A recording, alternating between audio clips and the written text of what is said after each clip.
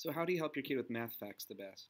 Or how do you use these triangle math facts cards to help your kid memorize their math facts the best? Now, as a teacher for 21 years, I can assure you um, that one of the most important things that your child can do right around third, fourth grade, definitely by fifth grade, is to memorize their multiplication math facts.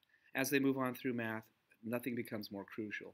Nothing becomes more difficult when they don't have them to try to solve a problem that they have to calculate what 7 times 8 is. If they know what it is right away, they will move through these problems a heck of a lot easier. You know that. So let's, let's show you how to do them. Um, you need a set of triangle multiplication math facts, and I've included a link in this video for a free website that has a PDF for you. Um, I like these because they they're small. You'll be close with your child. You're working on them, and you can they will really help as you can see. So what you want to do is take about 10 to 20 of them out of the set just from random. Grab, grab 10 or 20. Um, and before I show you this, you want to do this once a day only, but do it every day. All right? If your child's getting really interested in it, maybe you could do it twice a day. But if you start doing it too much, they might start fighting, they might start resisting, and it might not work for you very well. But once a day, every day, consistently, and within a couple weeks, they're going to have them all memorized. So, take some from random. You want to make sure the product two factors are down here. The product is the answer. It's up on top. You want to make sure it's covered when you show them the card. Okay? If they don't give you the answer, they look at it. If you need to, you could say 8 times 2, 2 times 8. If you wanted to, you could go through the skip counting, or you you know you count 2, 4, 6. You could show them that if you want. Um, and sometimes that's a good way to go. Or the other thing you could do is just say, okay, the answer was 16, and then cover one of the factors and see if they can tell you which one is missing. 16 divided by 2 is now the question. You can tell them that. They, hopefully they'll remember that it was 8. And then go and cover the other factor. Well, now it's 16 divided by 8. What was that? Oh, that was 2.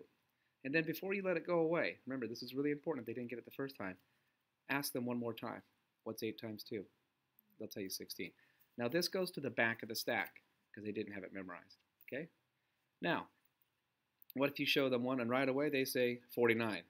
Okay, let's make sure. They should tell you 7. 7. They give you all three answers, all three answers right away. They don't need this one anymore. You could put it away.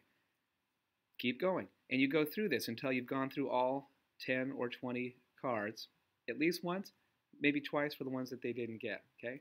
Now, when we get back to this one, they didn't get it the first time. Next time you show it to them in the same sitting, if they get it, that's great.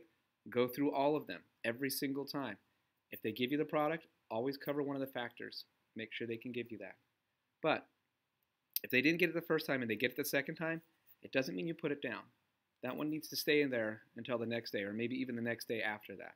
You want to make sure they have it in their long-term memory, not their short-term, because they will memorize it within the few seconds that they get this. Um, every day, 10 to 20 cards. Go through it. They will memorize them. Hopefully, you've got a teacher in school who's showing them the arrays or doing something to let them see what the um, concrete representation for this is. But maybe I'll do that in another video. Um, this is really important. Just help them with their math facts. Get through these, print these cards, cut them out, and your child will have them memorized in no time. Good luck. Happy parenting.